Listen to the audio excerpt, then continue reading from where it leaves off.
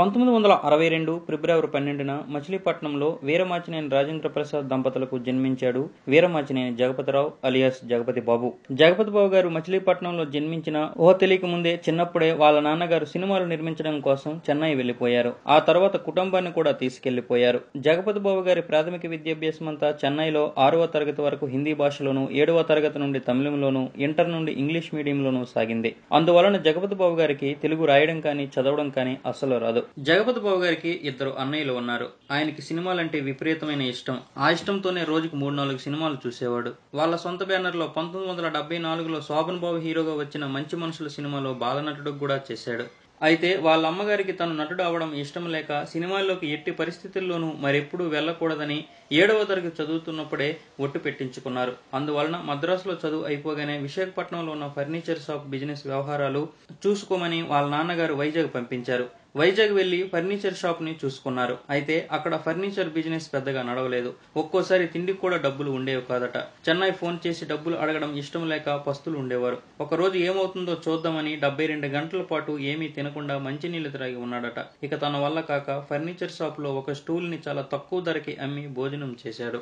ఆ సమయంలోనే ఇన్ని కష్టాలు పడడం అవసరమా? నేను కూడా హీరో అయితే బాగుంటుంది కదా అనుకున్నాడు. కానీ ఇదే విషయాన్ని వాళ్ళ నాన్నగారికి చెబితే ఏమనుకుంటాడో ఏమంటాడో అనే భయం ఉండేది. పైగా వాళ్ళ అమ్మగారికి నటించడని మాటిచ్చాడు. ఇవన్నీ గుర్తుకొచ్చి హీరో అవ్వాలనే ఆలోచనని కొన్ని రోజులు వాయిదా వేసుకున్నాడు. అయితే ప్రతిరోజు సినిమాలు చూస్తున్న కొద్దీ ఆ ఆలోచనలు మరింత రెట్టింపయ్యాయి. ఇక వైజాగ్లో ఉండబుద్ధి కాక చెన్నై వచ్చేసి ఎవరికీ తెలియకుండా వాళ్ళన్నయ్య సహాయంతో తెలిసిన ఆఫీసుల చుట్టూ తిరుగుతూ ఫొటోస్ ఇస్తుండేవారు. కానీ ఎవరికి నేను నిర్మాత విబి రాజేంద్ర ప్రసాద్ కొడుకునని చెప్పలేదు. తను ఫొటోస్ ఇవ్వడం చూసిన ఒక కో డైరెక్టర్ రాజేంద్ర ప్రసాద్ గారికి చెప్పాడు. ఆయనేమో ఒకరోజు జగపతి బాబుని కూర్చోబెట్టుకుని ఏంటి హీరో అవుదామని ప్రయత్నిస్తున్నావా? అని అడిగారు. అవును నాన్నగారు అని కొంచెం భయంగానే సమాధానం ఇచ్చాడు. సరే అయితే చేయగాని ముందు యాక్టింగ్ నేర్చుకో అని మధు ఫిల్మ్ ఇన్స్టిట్యూట్లో చేర్పించారు. అక్కడ రెండు నెలలు మాత్రమే నేర్చుకున్నాడు. ఆ తర్వాత వాళ్ళ సొంత బ్యానర్ జగపతి ఆర్ట్ పిక్చర్లోనే వి మధుసూదన్ రావు గారి దర్శకత్వంలో కృష్ణరాజుని మెయిన్ హీరోగా పెట్టి సెకండ్ హీరోగా జగపతి బాబును పెట్టారు. ఆ సినిమా పేరు సింహ స్వప్నం ఇందులో జగపతి బాబు వాయిస్ బాగోదని తన పాత్రకి వేరే వాళ్ళతో డబ్బింగ్ చెప్పించారు. జగపతి రావుగా ఉన్న తన పేరుని జగపతి బాబుగా మార్చారు ఈ సినిమాతోనే. పంతొమ్మిది వందల ఎనభై తొమ్మిదిలో వచ్చిన ఈ సినిమా పెద్దగా ఆడలేదు. దాంతో బాగానే లాస్ వచ్చింది. అయితే ఇందులో జగపతి బాబు డబల్ రోల్ పోషించడంతో మొదట డెబ్యూట్ మూవీతోనే డబుల్ రోల్ చేసిన ఏకైక హీరోగా తన పేరు ఇప్పటికీ అలాగే ఉంది. అప్పట్లో ఈ మ్యాటర్ టాక్ ఆఫ్ ఇండస్ట్రీ అయ్యింది.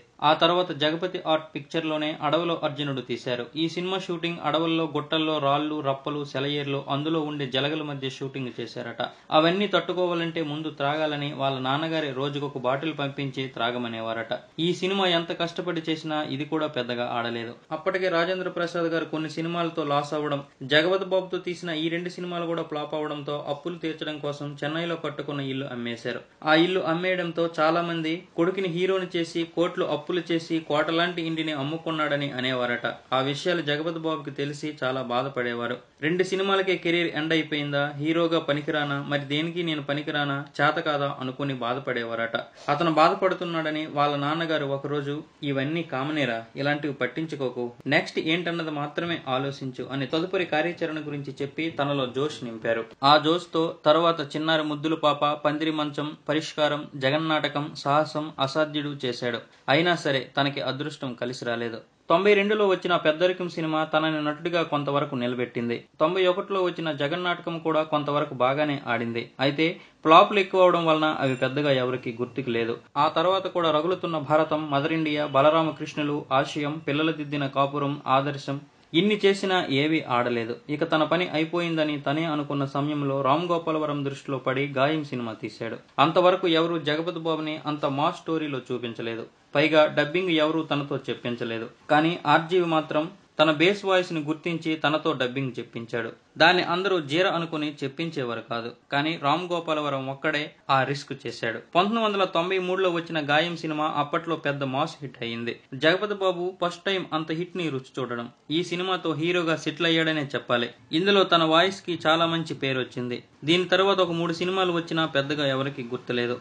ఆ తర్వాత తొంభై నాలుగులో ఎస్వి కృష్ణారెడ్డి గారి దర్శకత్వంలో వచ్చిన శుభలగ్నం మూవీ ఎప్పటికీ గుర్తుండిపోయే సినిమాగా తన కెరీర్లో ముద్రపడింది ఇందులో కోటి రూపాయలకి మొగుడిని అమ్మే కాన్సెప్ట్ అప్పట్లో ప్రేక్షకులకి కొత్తగా అనిపించి ఈ సినిమాని బ్లాక్ బాస్టర్ హిట్ను చేశారు. ఈ సినిమాతో కుటుంబ కథా చిత్రాలకి హీరో అనిపించుకున్నాడు జగపతి బాబు. ఆ తర్వాత నుంచి మరో ఎనభై సినిమాల్లో హిట్లు ఫ్లాపులతో సంబంధం లేకుండా నటించాడు. మొత్తం వందకు పైగా సినిమాల్లో హీరోగా నటించాడు. శోభన్ బాబు గారి తర్వాత ఇద్దరు హీరోయిన్లతో ఎక్కువగా నటించే హీరోగా జగపతి బాబే ఆ క్రెడిట్ కొట్టేశారు. అందుకే జగపతి బాబుకి మహిళా ప్రేక్షకులు ఎక్కువయ్యారు. జగపతి బాబు ఎటువంటి పాత్ర అయినా చేయగలడని నిరూపించుకున్నాడు. గాయం సినిమా టైంలో కృష్ణవంశీతో పరిచయం అయ్యింది. ఆ స్నేహంతో అంతఃపురం అనే సినిమా చేస్తున్నాను. అందులో నువ్వు సారాయి వీర్రాజు పాత్ర చేయాలనగానే ఒప్పుకున్నాడు. అప్పటికి జగపతి బాబు గారు మంచి ఫామ్లో ఉన్న హీరో. చాలా మంది తన ఫ్యాన్స్ మీరు గనక అంతఃపురంలో క్యారెక్టర్ ఆర్టిస్ట్గా చేస్తే చచ్చిపోతాం అని లెటర్స్ రాసి మరీ హెచ్చరించారట. అలాగే తన ఫ్రెండ్స్ శ్రేయోభిలాషులు కూడా హీరోగా సక్సెస్ అయ్యాక ఈ ప్రయోగాల అవసరమా వద్దని ఎంతో మంది చెప్పారు. అయినా అవేమి పట్టించుకోకుండా ఎక్స్పెరిమెంట్ ఎక్స్పెరిమెంటల్ చేశాడు. అందుకే ఆ cinema success క్రెడిట్లో Jagapath Babu one of the pillar అయ్యాడు. అలాగే సముద్రం మనోహరం వంటి సినిమాలలో తన క్రేజీని పనంగా పెట్టి ప్రయోగాలు చేశాడు. అలాగే అనుకోకుండా ఒక రోజు అనే సినిమా కూడా చార్మి మీదే కథ అంతా నడిచినా చివరికి ఆమెను వేరొకరు పెళ్ళి చేసుకుంటారని తెలిసిన డైరెక్టర్ వద్దు సార్ మీకు తగ్గ కథ కాదని చెప్పినా ఆ కథ నచ్చి ఈ కథ మాత్రమే చేస్తానని పట్టుబట్టి మరీ చేశాడు. ఆ సినిమా సూపర్ హిట్ అయింది. ఆయన నమ్మకం ఒమ్ము కాలేదు. మావి చిగురు శుభాకాంక్షలు సామాన్యుడు శివరామరాజు హనుమాన్ జంక్షన్ పెళ్ళైన కొత్తలో Moodu Mukkalata Homam Rara Krishnayya budget Padmanabham family circus Sandade Sandadi Kabaddi kabaddi అతడే ఒక సైన్యం ఖుషీ ఖుషీగా పెదబాబు పందెం అధినేత. ఇంకా చాలా సినిమాలు ఆయనకి మంచి ఇమేజ్ని తెచ్చాయి రెండు వేల ఏడులో లక్ష్యం మూవీలో గోపీచంద్కి అన్నయ్యగా నటించి ఆ సినిమా సక్సెస్కి ముఖ్య కారకుడయ్యాడు. అల్లర్ నరేష్తో గోపి గోడ మీద పిల్లి చేశాడు.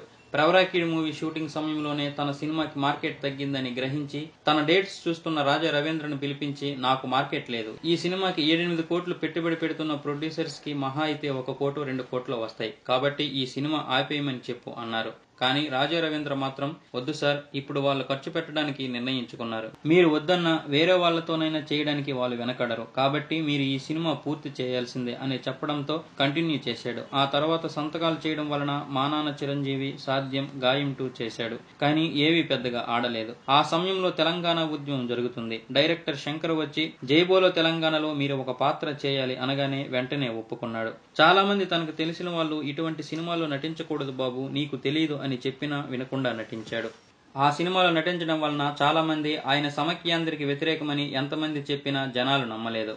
అతన్ని ఒక నటుడిగానే చూశారు. ఆయన కూడా నాకు ప్రాంతాభిప్రాయాలు లేవు. ఈ సినిమాలో నటిస్తే డబ్బులు ఇస్తామన్నారు కాబట్టి చేశాను అని కొండ బద్దలు కొట్టినట్టు చెప్పేశాడు. ఆ తెగింపు అంత బోల్డ్గా బహుశా ఎవరూ చెప్పరేమో.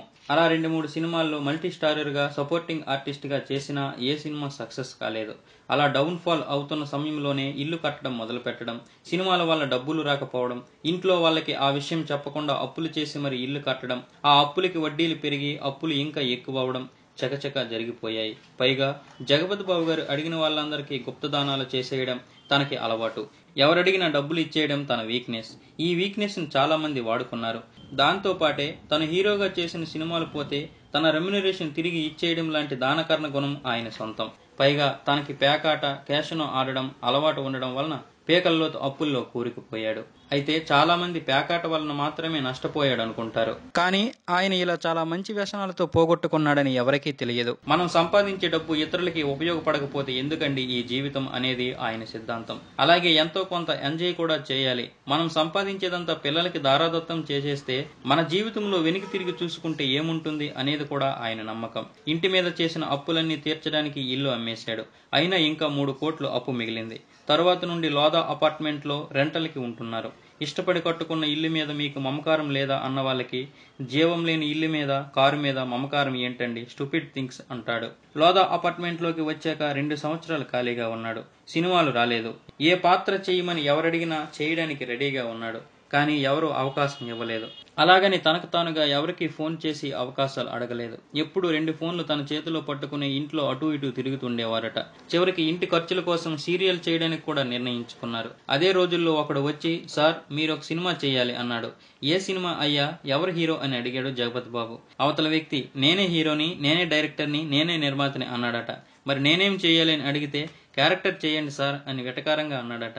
అంటే అంత తక్కువగా చూసేవారు నన్ను అని ఆయన బాధపడేవారు. అదే సమయంలో ఒక రోజు బోయపాటి కో డైరెక్టర్ జగపతి బాబును కలిసి బాలయ్య సినిమాలు మీరు విలన్ చేయాలి మీరు ఏమంటారో కనుక్కొని రమ్మన్నారు శ్రీను గారు అని అన్నాడు. ఏ సినిమా చేయడానికైనా సిద్ధంగా ఉన్నాను.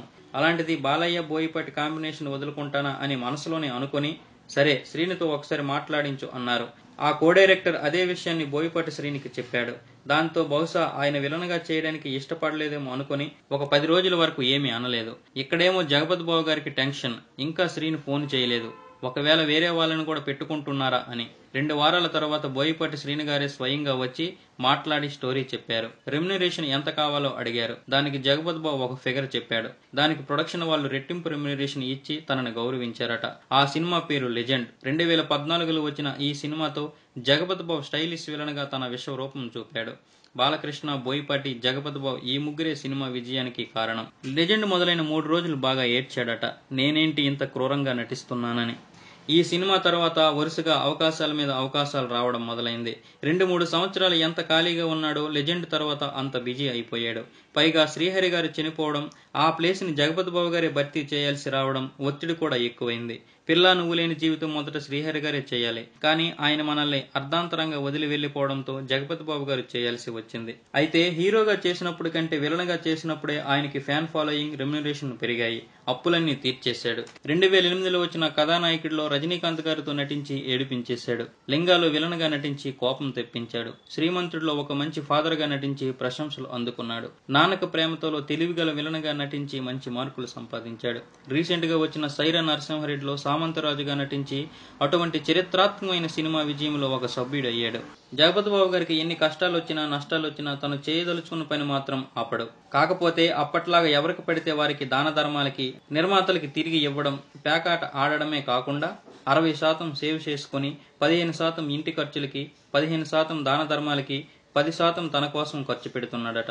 జగపతి బాబు గారు కమ్మ కులంలో పుట్టిన కులం అనే పదానికి వీడు మనోడు మన కులం వాడు అనే పదానికి చాలా దూరంగా ఉంటాడు. అంతేకాదు కులగజ్జతో ఉన్న వాళ్ళని ఎడాపడా ఏకి పారేస్తాడు. అందుకే అతనంటే కమ్మ వాళ్ళకి పడదు. తన పెద్ద కూతురు ఒక అమెరికన్ని ప్రేమించాను నాన్న అని చెప్పగానే ఒక ఏడెనిమిది నెలలు అతన్ని అబ్జర్వ్ చేయి. ఆ తర్వాత కూడా నీకు ఓకే అయితే చెప్పు పెళ్ళి చేస్తాను అన్నారు. ఆమె అలాగే ఏడెనిమిది నెలలు అతన్ని అబ్జర్వ్ చేశాక ఓకే చెప్పింది. వెంటనే జగపతి బాబు గారు తన ఇంటిలోని రెండు వందల మంది బంధువుల సమక్షంలో పెళ్ళి చేశారు. ఈ పెళ్ళి విషయంలో తన కులం వారి నుంచి అడ్డంకులు ఎదురైనా కులం కూడి పెడుతుందా కులం గుడ్డ కొడుతుందా అని ఎవరిని కేర్ చేయలేదు. జగపతి బాబు గారికి అర్జున్ వెంకట అక్కినేని క్లోజ్ ఫ్రెండ్స్ జగపతి బాబు గారు ఒక అమ్మాయిని ప్రేమించి వాళ్ళ అమ్మగారికి పరిచయం చేశారు. ఆమె ఆ అమ్మాయితో కొన్ని రోజులు మాట్లాడాక నీకు సరైన జోడీ కాదురా అన్నారు. ఆ తర్వాత చుట్టాలింట్లో ఒక ఆల్బంలో లక్ష్మి గారిని చూసి నేను పెళ్ళంటూ చేసుకుంటే ఈమెనే చేసుకుంటానని చెప్పడంతో ఆమెను ఇచ్చి పెళ్ళి చేశారు. జగపతి బాబు గారు తెలుగుతో పాటు తమిళ్ మలయాళ కన్నడ హిందీ భోజ్పురి భాషలలో నటించారు. జగపతి బాబు గారు సౌందర్యని ప్రేమించారని అప్పట్లో అందరూ అనుకున్నారు. ఎందుకంటే వీళ్ళిద్దరిది హిట్ ఫెయిర్. పైగా ఆమె హైదరాబాద్ ఎప్పుడు వచ్చినా జగపతి బాబును కలవకుండా వెళ్ళేవారు కాదు. ఆమె చనిపోయినప్పుడు ఆమె కుటుంబ సభ్యులకి చాలా హెల్ప్ చేశాడు. జగపతి బాబు గారు ఎంతో మందికి హాస్పిటల్ బిల్లులు పే చేశారు. తన ఇంట్లో దొంగలు పడితే వాళ్ళని పోలీసులకి పట్టించి వాళ్ళ కుటుంబ సభ్యులకి నెల నెల డబ్బులు పంపించేవారు. ఒక రోజు నలుగురు కుర్రాలకి యాక్సిడెంట్ అయితే వాళ్ళని హాస్పిటల్ ఎవరు అడ్మిట్ చేసుకోవట్లేదని వాళ్ళకి తనే విట్నెస్గా ఉండి వైద్యం ఇప్పించి ఆ బిల్లు మొత్తం పే చేశాడు. ఇలాంటివి ఆయన జీవితంలో కోకొల్లలో. ఒక రోజు షూటింగ్కి లిఫ్ట్లో వెళ్తున్నప్పుడు ఒక పాప ఆ పాప అమ్మగారు ఆ లిఫ్ట్లో ఉన్నారు. పాప ఏంటి అలా ఉందని అడిగారట. పాపకి క్యాన్సర్ మరో రెండు నెలలు మాత్రమే బ్రతుకుతుంది సార్ అని చెప్పడంతో వీళ్ళ కష్టాల ముందు తన కష్టాలు ఒక లెక్క అని అప్పటి నుంచి వచ్చిన ప్రతి కష్టాన్ని ఎంజాయ్ చేయడం మొదలు పెట్టారట జగపతి బాబు గారి జీవితం చూస్తే ఒక వ్యక్తి ఎలా ఉండాలో ఎలా ఉండకూడదో కష్టాలు కన్నీళ్ళు వస్తే ఎలా ఎదుర్కోవాలో డబ్బుని ఏ విధంగా ఖర్చు పెట్టొచ్చో ఏ విధంగా ఖర్చు పెట్టకూడదో అన్నీ తెలుస్తాయి. అతను బోల్డ్గా ఉండే ఒక బోలా శంకరుడు. ఫ్రెండ్స్ ఈ వీడియో గనక మీకు నచ్చినట్లయితే లైక్ చేయండి షేర్ చేయండి కామెంట్ చేయండి. సబ్స్క్రైబ్ చేసుకోవడం మాత్రం మర్చిపోకండి. Thank you. జై జవాన్ జై కిసాన్ జై భారత్ జై Hind. Hi, this is Roja. For more interesting updates, please subscribe Country Thoughts. Hi నేను మీ వేణు. మీ అభిమాన హీరోల బయోగ్రఫీ కోసం please subscribe Country Thoughts hi friends నేను మీ రచరవి ఫ్రెండ్స్ మీకు ఇంట్రెస్టింగ్ వీడియోస్ కోసం please subscribe Country Thoughts hi అండి నేను మీ Fun Bucket Bharath please subscribe to Country Thoughts hi friends నేను మీ Devenani please subscribe Country Thoughts Please subscribe and share Country Thoughts. Hi అందరికీ నమస్కారం. నేను మీ Madhupriya. Please subscribe to Country Thoughts YouTube channel అండి నేను మీ Fun Bucket Bhargav please subscribe to Country Thoughts for more interesting updates కింద గంట ఉన్నది కొట్టియండి.